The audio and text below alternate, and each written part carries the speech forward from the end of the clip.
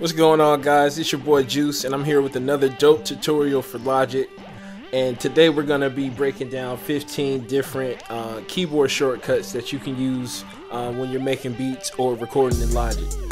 So um, if you find this video helpful please drop a like and uh, leave a comment if you know any other dope shortcuts. So let's get right into it man. Uh, the first shortcut is Command and B and um, for those that don't know, Command and B brings up the bounce window. So it'd be the same as you going to File, Bounce, and then Project or Section.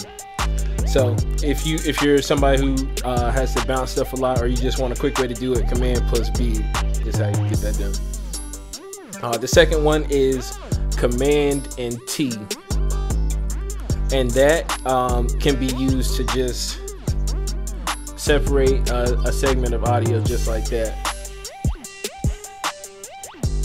Command T.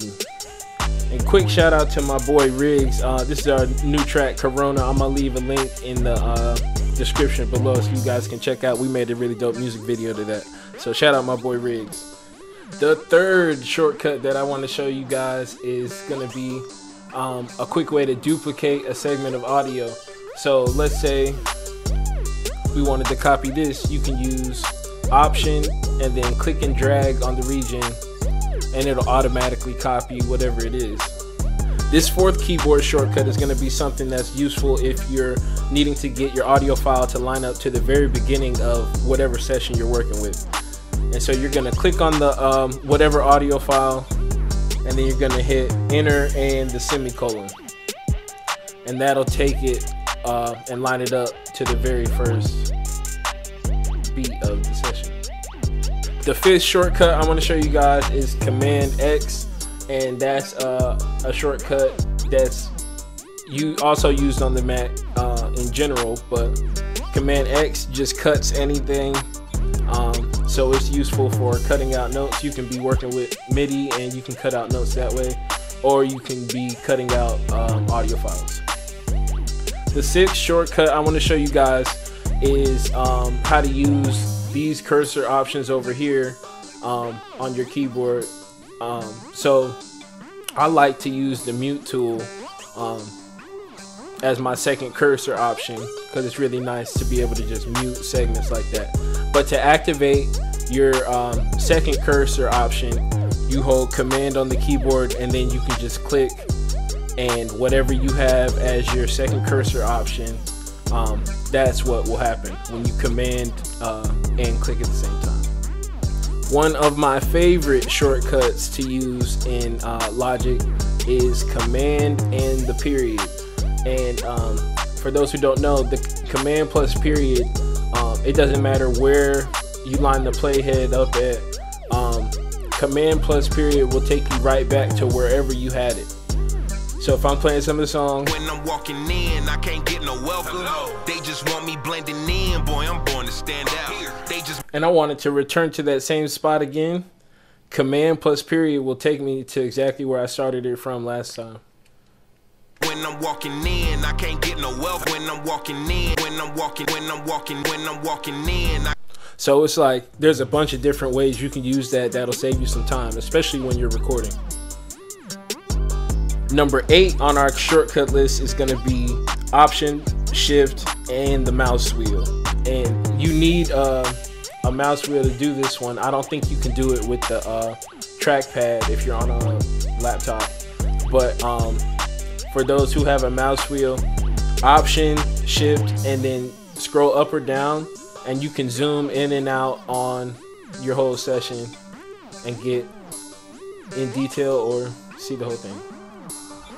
Number nine on our list is gonna be a quick way to get the musical keyboard to come up. So let's create um, a new software instrument track. And let's load here. This Logic tutorial. And um, if we want our keyboard to come up so we can type using our um, QWERTY keyboard, not like a MIDI keyboard, you hit Command and K and you'll be able to start typing um, the notes that you want to play.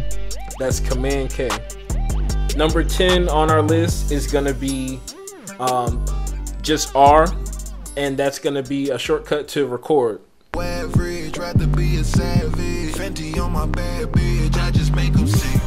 As you can see, the um, recording came up. I wasn't I wasn't playing anything, but you get the idea. It's a shortcut to record. It works for audio and MIDI. Number 11 on our list is going to be Command Z, and this is another um, shortcut that's used on Macs uh, in general, but um, Command Z is undo, and that is one of the most critical um, shortcuts that you can use when working on music. Period, because we all make mistakes and do stuff that we don't want to do, but a quick Command Z will make whatever ha- just happened uh, undo. So if I didn't mean to delete that, Command Z it brings it back. And that goes straight into our next uh, shortcut, which is Command Shift Z, and that is um, the redo function. So that's the opposite of undo. If you um, un- undid something too many steps back, or you just decided you wanted to flip it back to how it was, Command Shift Z will flip it back, and um, it's a nice option to pair with the undo and work really fast without your hands leaving the keyboard. Number 13 on our list is going to be a shortcut on how to nudge.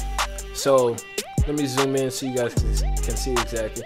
So if I highlight this region right here and I hold option and use the right arrow, I can move it to the right slightly.